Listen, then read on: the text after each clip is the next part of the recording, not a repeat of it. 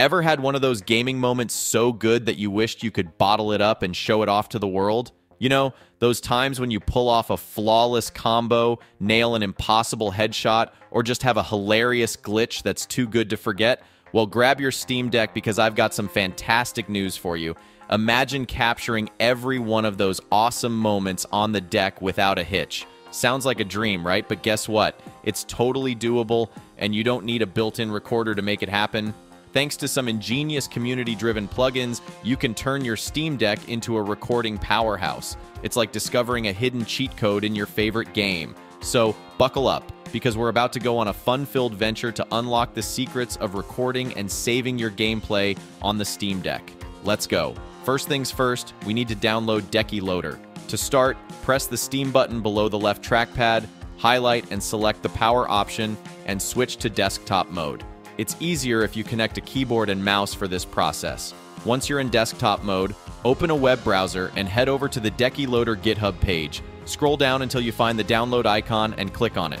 After downloading, double click the installer and go with the recommended install. Once Decky Loader is installed, switch back to gaming mode. The Decky Loader store offers a bunch of useful plugins. One of my favorites is the Shotty app, which makes taking screenshots a breeze. But let's stick to the main task for now, recording videos. Now let's get the Decky Recorder plugin installed. This plugin allows you to capture your gameplay in chunks ranging from 30 seconds to 5 minutes. To do this, press the QAM button located under the right trackpad, the button with three dots. Click the new plugin icon that appears and then click on the store symbol. Search for the plugin named Decky Recorder and select Install to add it to your system. With Decky Recorder installed, it's time to set it up for recording your gameplay. Open the Decky Loader app and choose your preferred video format MP4, QuickTime, .mov, or Matroska.mkv. Make sure to turn on replay mode and select where you want your videos to be saved by setting the folder to slash home slash deck slash videos. With replay mode activated, you can start recording by pressing Steam and Start at the same time, which will capture the last 30 seconds of gameplay.